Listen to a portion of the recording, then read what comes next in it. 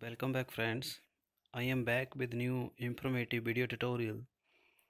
It is related with our the memory, type of memory and functioning of the memory.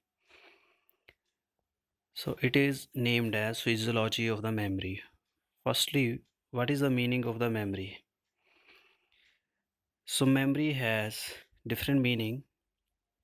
It is ability to recall the past event at conscious or unconscious level it is ability to call the past event at conscious or unconscious level. It is relatively permanent. Some type of memories are permanent and some are volatile memories. And the retention to retain the information in the brain and store in the form of learned information and what you have learned from your childhood or in the fetal life it come some uh, some of the memories remain as as such as. So it is the memory. Basically it is the stories and collection of the events. Next is the type of memory. Memory can be categorized into two types. Firstly is the declarative or explicit memory. Second is the non-declarative or implicit or reflexive memory declarative memory can be called as conscious memory. So it can be regarded as inborn memory childhood memory and the brain is consciously involved in it. It is not forced type of memory. And second is unconscious. It is learned. Basically classical conditioning skill and habits. But you rapidly do it comes your habits and it is automatically build up in your brain and your brain automatically responds to that type of event. So declarative memory it is a conscious recall of event. It can be categorized into two type recent or short-term memory remote or long-term memory. Short-term memory is the immediate recall of event that occurs second or hour. So recently occurred event within second or minutes or hour. The ability to recall that type of event is called short-term memory and the ability to recall the long memory that is past remote memory is called long-term memory. So it if it registers in our brain it is due to the severe brain damage. So it leads to the depression some of the event or memories never delete from our brain and it causes the brain degeneration. So there are broadly two type of declarative memory short-term memory and long-term memory. I hope it is clear to you.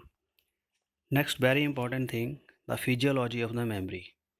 So there are very clinically experimental evidences that uh, tell us about how the memory actually work I have discussed here two experiments.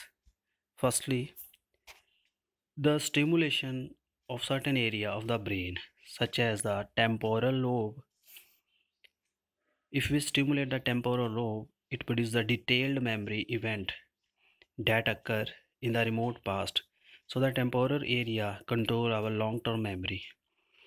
So they can not be memorized due to voluntary recall Particular memory is generally produced by stimulation of the definite area of the brain.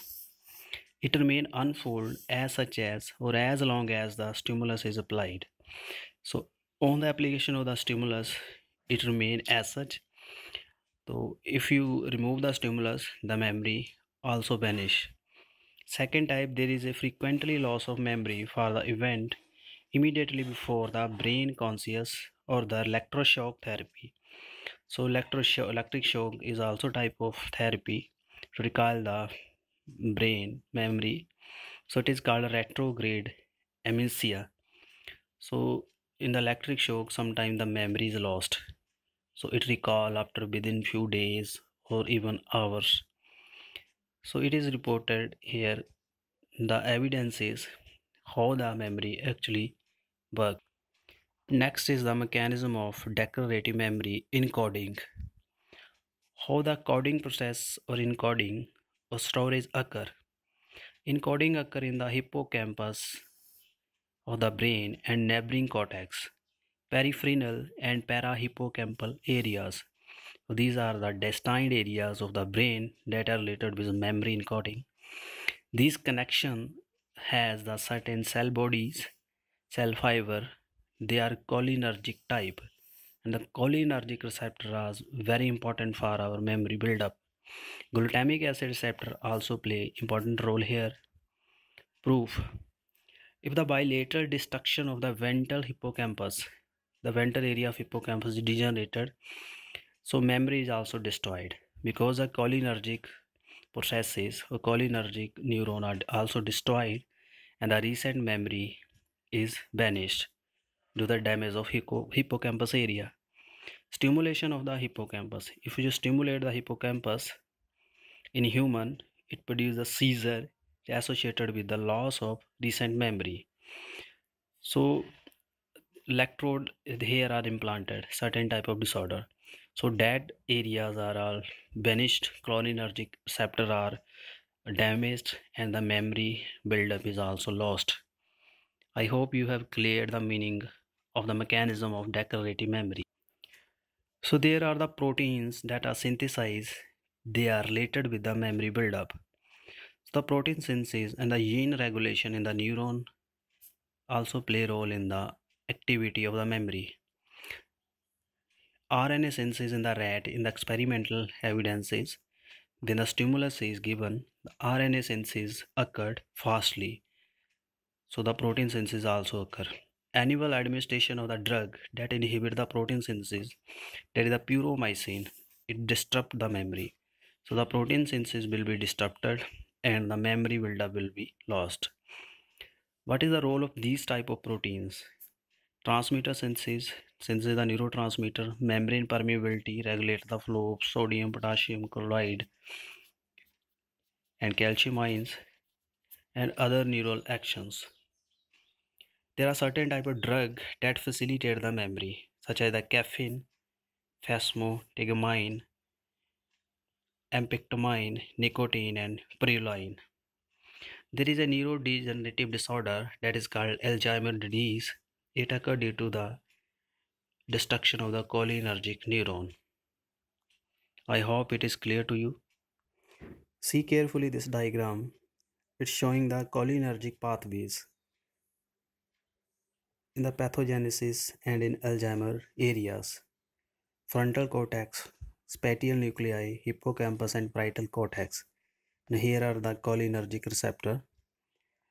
So what are the events occurred during the Alzheimer pathogenesis? First is aggregation of the beta amyloid peptide. These are the metabolite. They are accumulated in the brain.